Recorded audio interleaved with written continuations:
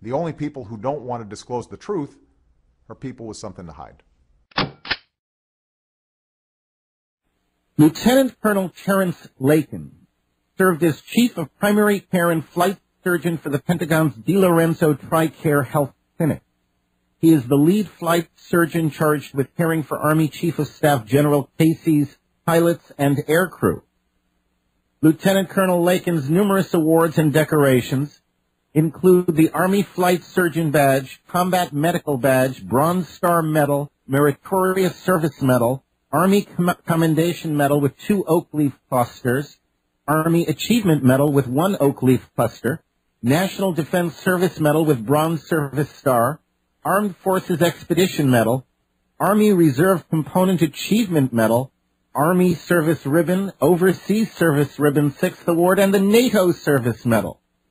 Lieutenant Colonel Lakin has asked through his chain of command and his congressional delegation for proof that Barack Obama is constitutionally eligible to serve as his commander-in-chief.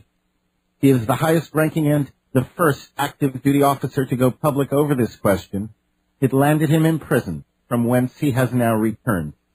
Lieutenant Colonel Terry Lakin, it is my honor and my privilege to welcome you to the Global Freedom Report. Thank you for having me on the show, Brent.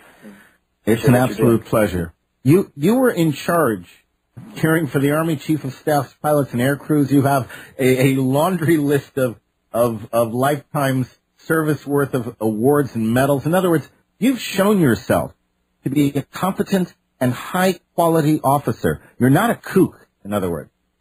So what happened the first time you, a distinguished and high ranking officer, raised the question of Obama's eligibility? And with whom did you initially raise the question?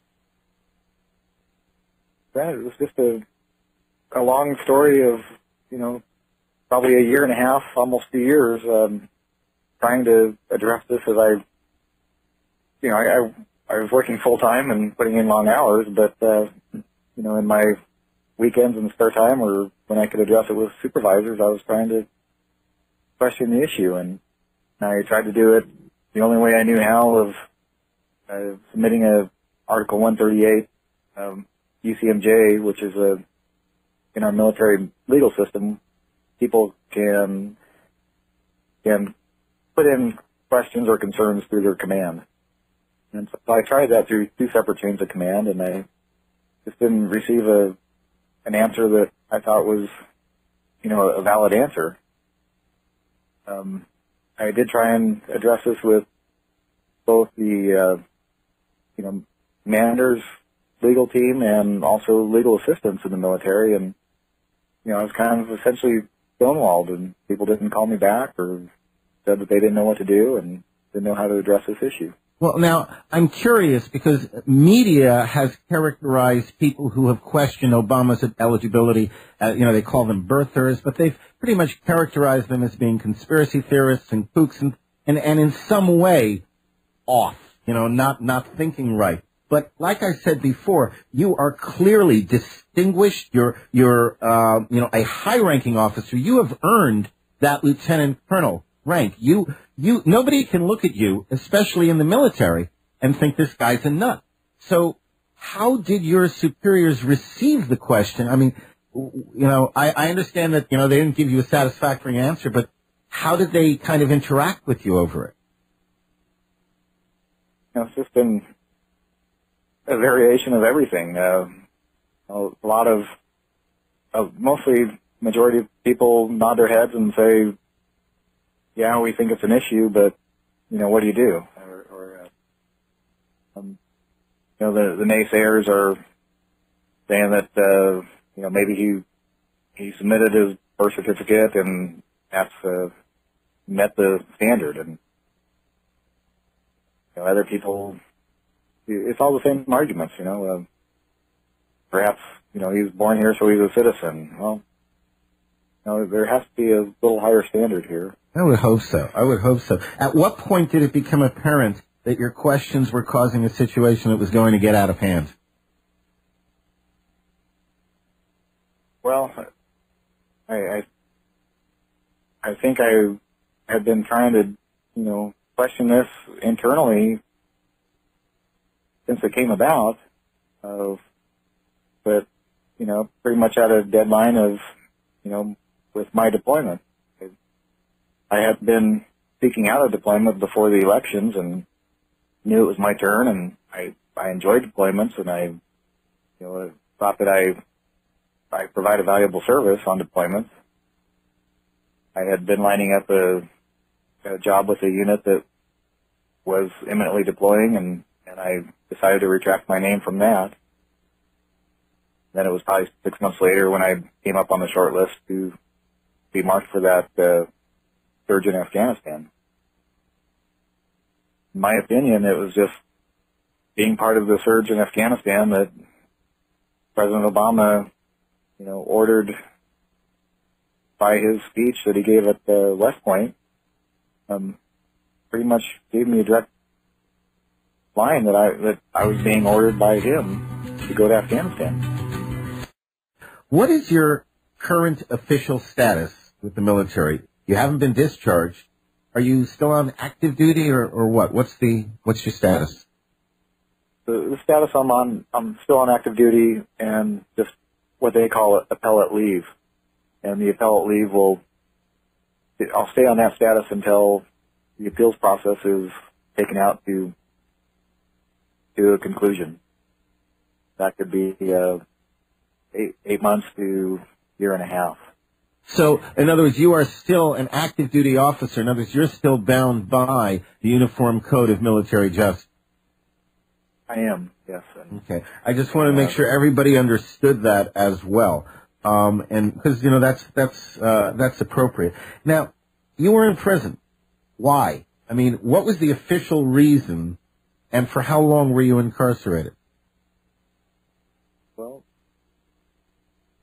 I, did come down on orders to report to a unit at Fort Campbell that was preparing for deployment to Afghanistan, and uh, several weeks prior to that report date, I informed my superiors that I was not going to report there until I had some assurances that we had a legitimate commander in chief. So pretty much the process went through until my re- report day passed, and and they uh, military then calls you in and uh, flags you as as having potential adverse action taken against you, and and I was under investigation for the military crime of not reporting for duty or missing movement. Now, if I'm, and again, I may not have this right, so I'll ask you to correct me, but so does that precipitate a court martial and the court martial is what landed you in, in prison?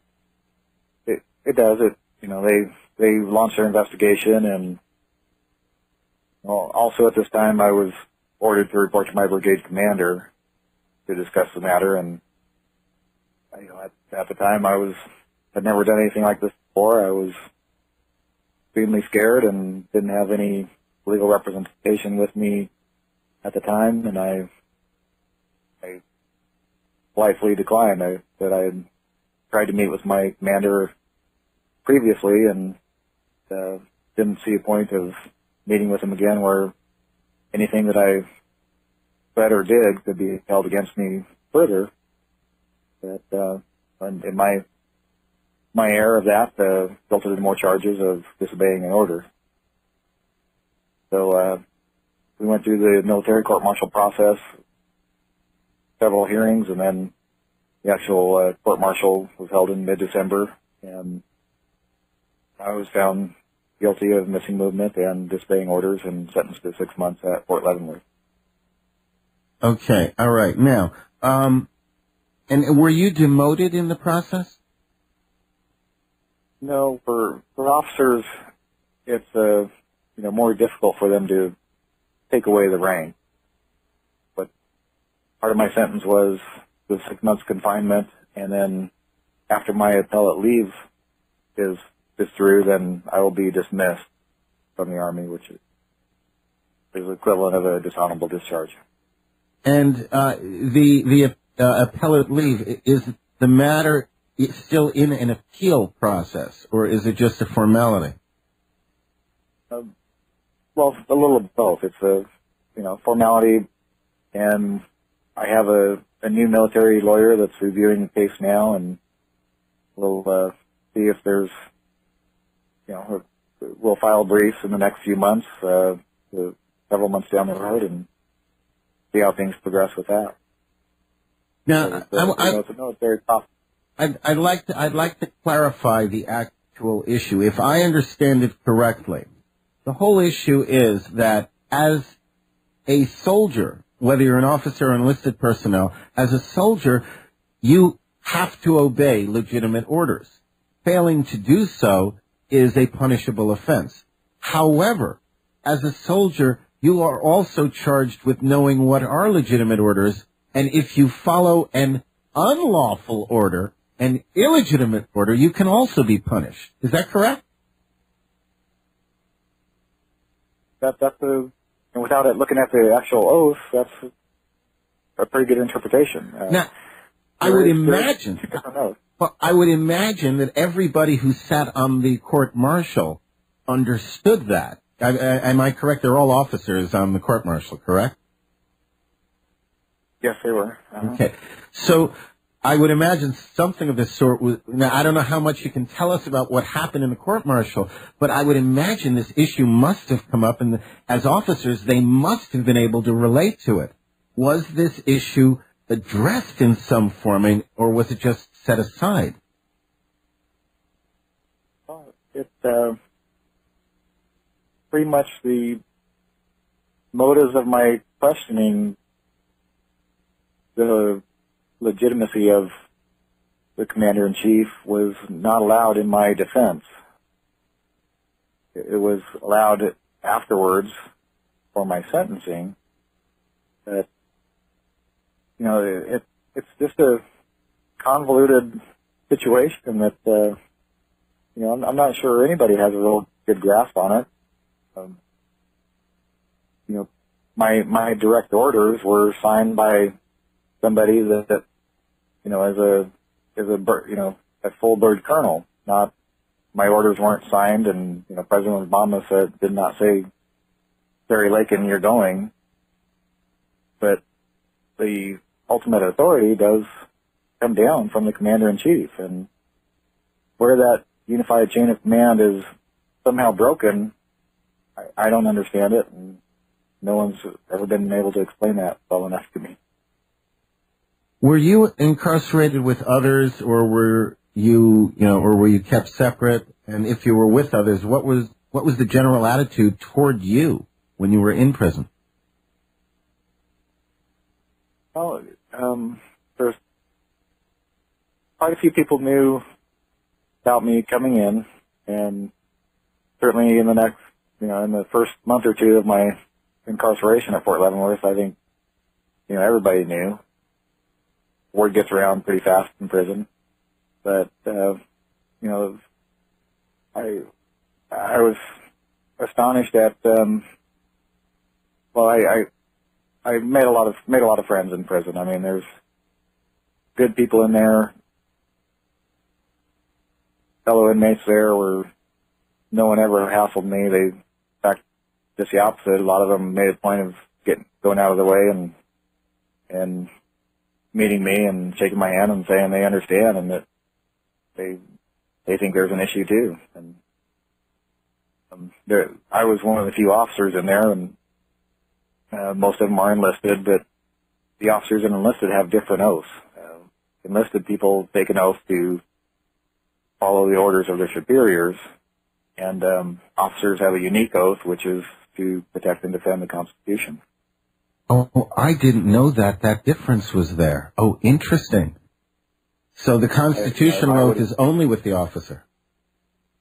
It is right. So you know, as an enlisted person, I don't really think that they have as much, uh, or, or they wouldn't be able to have this kind of questioning of, of orders. Interesting.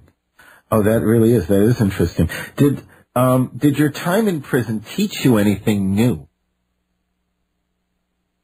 Um, it- allowed me a lot of time to read, and it, it just uh, gave me time to to read read the Bible and and read several other uh, historical texts that I read about our founding fathers and more on the Constitution, and it just grounded me in my faith and in my belief in the Constitution and and its Judeo-Christian uh, anchors there. So uh, Wh- While you I, I while you were, that time. while, while you were in prison, were you um, did you have like a cellmate or cellmates, or did they have you like in isolation? Well, the initial two weeks was in isolation. They, they called it reception, but it was basically you're in a separate part of the prison and you're only allowed out outside for you know two one or two hours a day to play cards with some of the other guys are that are in the reception um, classification. But in the general population, I, I did have a roommate. Um, you know, became a wonderful friend, uh, very talented, and you know, just a, an extremely great sergeant that was in the army, and and uh, you know, I my my heart goes out to a lot of the fellow inmates, and I think they're a, a lost population in the military that are good, productive people, and maybe many of them uh, shouldn't be in there or shouldn't be in for the time that they are. I, I have a place in my heart for those lost group, and also I still have my prayers and heart that goes out to the, the troops deployed and their families. What about friends and family? How have they been both during your time in prison and now that you are again free? I'll just uh, extremely supportive. Uh, you know, I have a wonderful family, and the, the friends and neighbors have have all just tried to support uh, the family throughout this process, and you know, express concern and, and fear about what's kind of going on with our country nowadays. How does it feel now that you're out? I mean, you know, I, obviously it's going to feel great on some level, but you know, are you a different are you a different man now that you're out from prison than you were before you went in? I I'm more grounded in my Christian faith, um, but but I think I'm I, feel just more grounded in everything. I I don't think that it's changed my outlook much on anything. I'll just have more of a historical or uh, a better background in it, and I I wish I had paid more attention to you know civics and history growing up and through high school and college. No, they don't. They don't even teach that much these days. And and if if if you and I were in high school and college today, we probably wouldn't have much of an opportunity for civics lessons. That's unfortunate.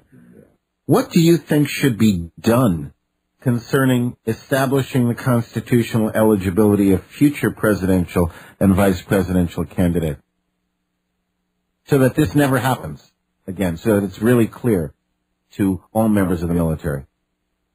Uh, yeah, in my opinion, uh, you know, I, I think it should be an easy thing for the states to, you know, pass laws to make sure that validation of eligibility is is paramount for the, you know, candidates that are running in all the elections.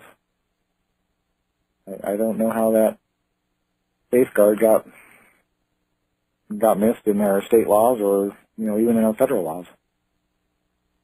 You know, I every now and then I ask the question, and of course nobody's been able to answer. I've asked, I've asked attorneys, I've asked legislators. Nobody's been able to answer because it's brand new ground. But I've asked the question: if if suddenly it came out, we had absolute proof that indeed Barack Obama was not eligible to be commander in chief. It's after the fact. What would happen? You have any idea? Want to take a shot at it? No, I I wouldn't want to do that. Yeah, I know. I, you know, nobody, I mean, nobody can even think about it, um, you know, because it's never come before. And you know, how do we undo everything at this point in time? I don't. I don't have an answer. I'm hoping somebody out there does. We have a question from uh, the um, chat room. Um, is there a pledge? Um, is there a pledge anywhere in the military that is a pledge of allegiance to the president or to Obama? You would find that wording somewhat in the enlisted oath of oath of office, but not not in the officer's oath.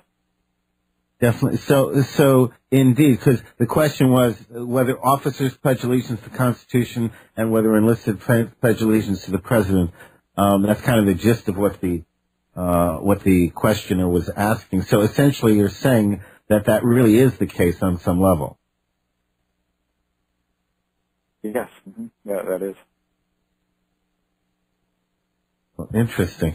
Um, enlisted men don't have the dis- discretion to determine if an order is unlawful, or, or are, are they supposed to?